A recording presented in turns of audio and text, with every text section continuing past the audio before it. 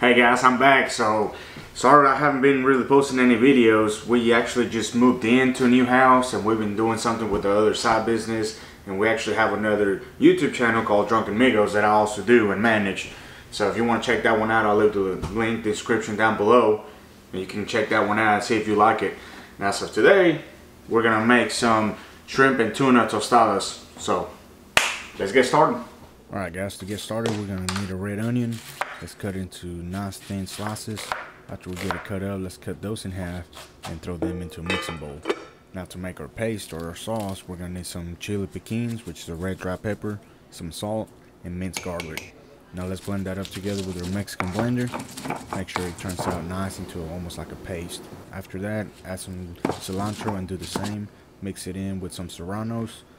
And if it gets a little too thick, you can just add a little bit of lime juice and thin it up. Alright, and now that you got everything rounded up to a paste again, we're going to add the other sauces. We're going to start off with Maggi sauce, salsa inglesa, and a little bit of soy sauce. Salsa inglesa is more like a Worcestershire sauce. A little bit of olive oil, and then we're going to need the juice of four limes. Squeeze all that in there, and then we're going to add a little splash of clamato. Now mix it together. And after everything's mixed up, we're going to add it into a bowl with where red onion was. And to add next, we're going to add the shrimp. We're going to do some bowl shrimp, just peel it, and let's cut it up into little pieces. Now you're gonna add that into the mixing bowl. You're gonna give it a little stir, get everything nice and ready up in there.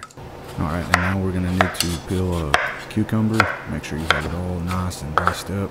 Take the seeds out, because I'm sure you don't want that in there. Mix everything in with the other stuff. Now we're gonna use some fresh tuna.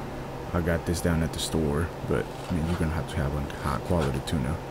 Let's just cube that up, and that's gonna go into the bowl as well. We're gonna mix everything together. Once you have everything mixed together, you can serve it right away or you can let it sit and marinate for a little bit. Completely up to you. Alright, time to try this bad boys out. Grab yourself a nice tostada. Grab some of this. Put it on there. Can't forget the avocado now. Here we go.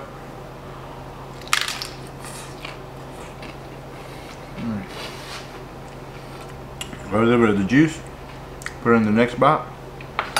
Oh. Oh. No better way to enjoy it than with a nice cold Modelo.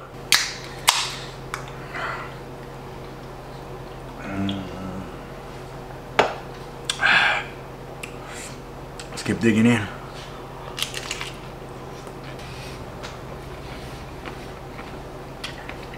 You try this out. Till next time, guys. Oh shit, as fuck.